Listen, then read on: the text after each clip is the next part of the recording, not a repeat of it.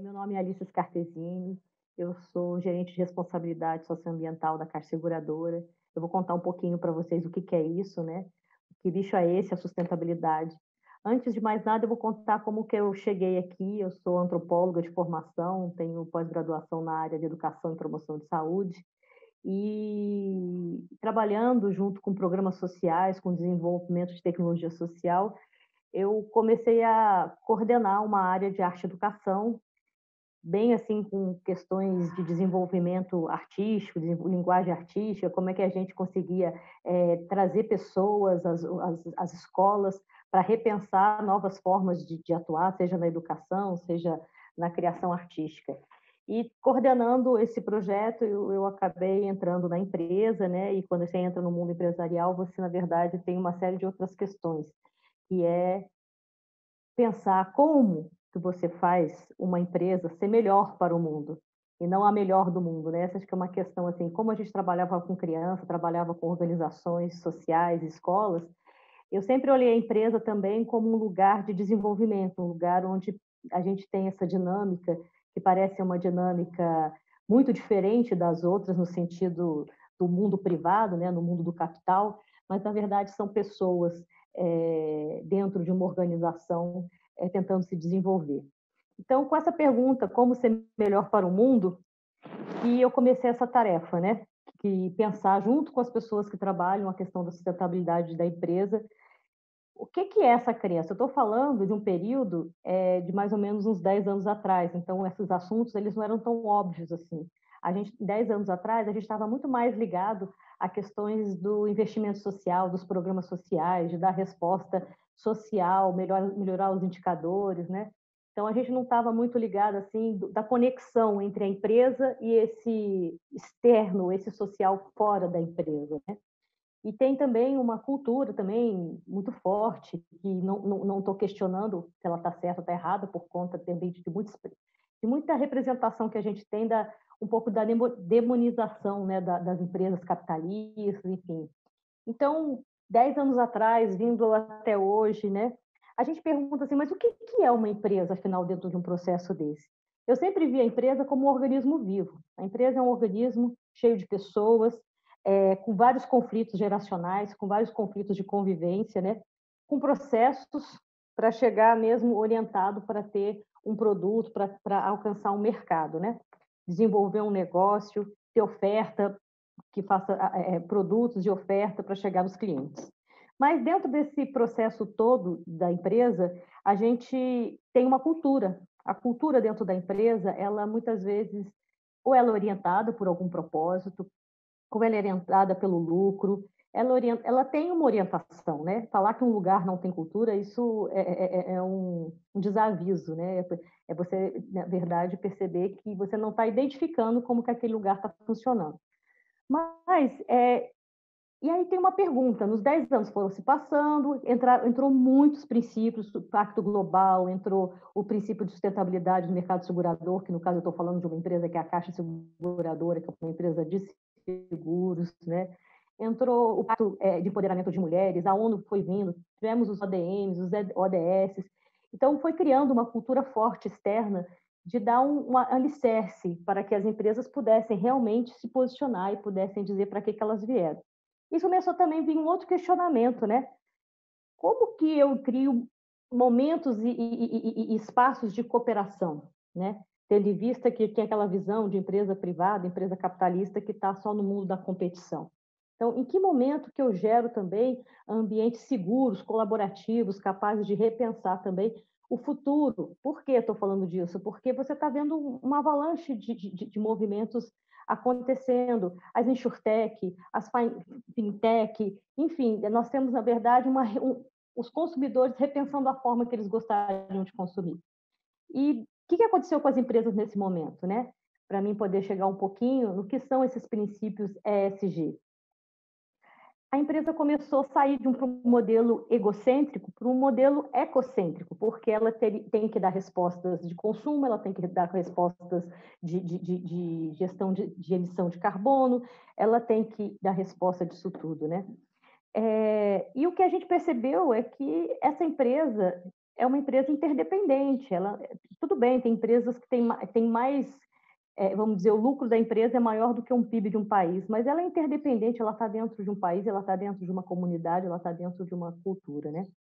E tem uma questão também, né, central, que é o que a gente chama hoje de capitalismo de stakeholder. Então, o ESG, né, que são os princípios ambientais sociais de governança, ele foi um nome novo que o, que o mercado financeiro resolveu chamar sustentabilidade.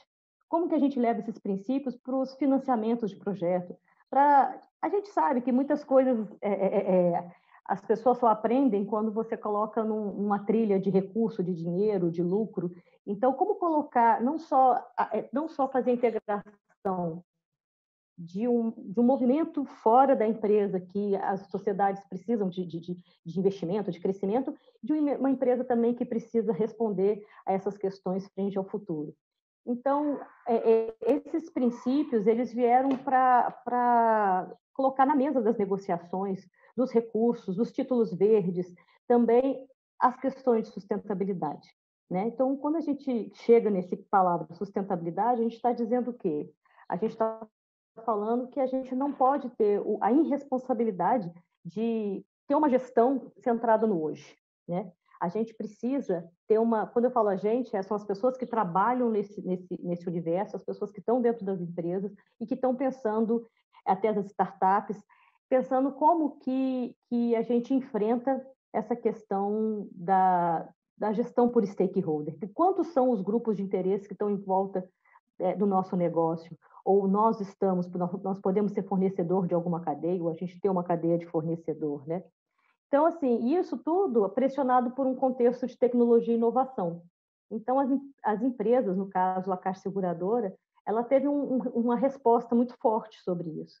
Né? Primeiro, fazendo os seus alinhamentos, se, se, se alinhando a princípios, pactos internacionais, globais, trazendo para dentro da gestão da empresa os objetivos de desenvolvimento sustentável, integrando é, desde áreas de produto, produtos que a gente chama de produtos inclusivos, que no nosso caso são os microcréditos, são vários tipos de créditos é, ofer ofertado para a população é, com menos renda, vamos dizer assim. Então, desde também como que ela, ela gasta, né, vamos dizer assim, seus recursos, enfim, é, como que ela trata as pessoas dentro da, da, da sua, da sua, do seu ambiente de trabalho, como é a questão da diversidade. Então, esses princípios, ESG, ele veio para dizer, gente, como é que vocês estão olhando para dentro da empresa e como é que vocês reverberam, vamos dizer, isso fora. E não é só em produto, né? Então, eu aprendi muito eh, no dia a dia mesmo, ouvindo as pessoas, tanto as áreas de produto como as áreas fora da caixa seguradora, e a gente precisa ouvir e o ambiente empresarial ele ficou muito mais atrativo, principalmente para a juventude. Isso criou também uma, vamos dizer, um ambiente mais diverso com relação à, à questão das gerações. Nós temos várias gerações dentro de uma empresa. Quando eu falo geração, não é geração, é, são realmente características de gerações é, é que, que pensam coisas muito diferentes dentro da empresa. Né? E como você faz para que, que, que, num contexto de inovação, que, que num contexto produtivo de cooperação, isso realmente é, tá, tenha um impacto positivo, né? e não necessariamente só venda ou um ambiente gostoso para trabalhar. Esteja, real, esteja realmente dentro do centro da preocupação a questão da qualidade de vida, qualidade do trabalho e principalmente agora no teletrabalho, né, que você não tem muito essa divisão do que é meu trabalho em casa, do que é meu trabalho é, profissional, porque nós estamos em casa e fazendo uma série de coisas, né? Bom, e com essas questões todas, a gente também pode passar por um outro mundo, né? Quando eu falo, é, eu estou falando de, de uma, meu papel de gestora, é, como, vamos dizer, cientista social que está observando esses movimentos, como que as empresas também então, se, se organizam né, para poder investir em projetos e em capitais que não estão dentro da empresa. Né? Isso é uma, uma, um desafio muito grande. Né? Então, você tem, se a gente for pensar aqui, nós temos um histórico muito grande no Brasil de como os projetos sociais, as tecnologias sociais é, foram criadas e operadas e avaliadas até hoje. E, e um, dos, um dos, dos, das experiências que eu tive dentro da empresa, muito interessante, foi a criação do Instituto Caixa Seguradora, que ele tem três anos. Ele é um espaço físico mesmo, também com essa característica de repensar o nosso papel, tentando ser um pouquinho é, é, diferente da empresa, tendo uma dinâmica um pouco diferente da empresa, no sentido de ser mais receptivo, de estar no térreo, de estar num, num ambiente onde as pessoas possam estar mais à vontade. Mas também, o que, que a gente está fazendo com isso? A gente está trabalhando o investimento social, quer dizer, o dinheiro que as no caso da Caixa Seguradora, que as, têm, que as, as empresas têm para investir em outros capitais, em novas economias, economia criativa, é, projetos sociais, projetos. Aí você hoje tem, por conta da pandemia também, que voltou muito a questão da, de você ter que apoiar as comunidades, de você ter que apoiar as pessoas que estão passando dificuldades. Então a filantropia veio forte, misturada com. Hoje nós estamos vendo uma cesta, né? De, de, de, de, de diversidade de projetos e de iniciativas que a gente tem é, para investir. Então, que eu quero dizer com isso tudo? Que eu estou falando assim, que desde lá da, da, da, dos produtos, da questão de pensar o que é uma empresa, a empresa vem para a rua, ela vem para fora. E eu não estou falando que ela vem para a rua através de um produto, né? ela não vem vendendo, ela vem através de um investimento social privado, que a gente chama, e ela vem é o quê? Se associando às organizações sociais, se associando a governos, a, a, a, a órgãos é, locais e órgãos federais, para poder é, ou a gente conseguir ancorar em alguma política pública que tenha, capac que tenha é, é, capacidade de impacto, mas que às vezes falta é, um apoio, ou a gente vem mesmo criando junto com essas, com essas organizações menores. No caso do Instituto Caixa Seguradora, a gente tem um papel muito forte com a juventude e a gente tem muito um, um objetivo, um foco de gerar autonomia. Quando a gente fala gerar autonomia, a gente está falando do quê?